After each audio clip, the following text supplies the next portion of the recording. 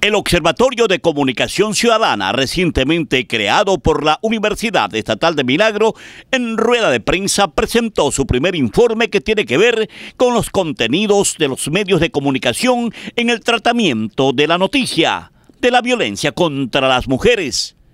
En el acto estuvieron presentes periodistas de varios medios de comunicación, estudiantes de la carrera, docentes e invitados.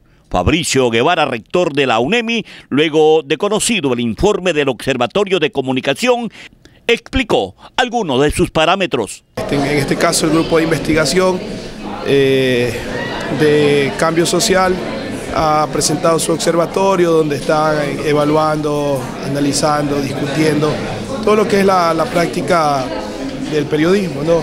para así poder construir unas mejores maneras de comunicar y sobre todo de transformar la sociedad. Generalmente se dijo en la rueda de prensa que la ciudadanía recibe como información lo que los medios quieren que ellos conozcan, no lo que la ciudadanía quiere saber.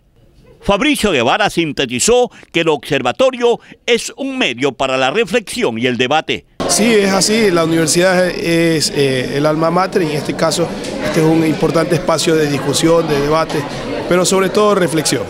Más adelante, más información sobre el Observatorio de Comunicación de la UNEMI.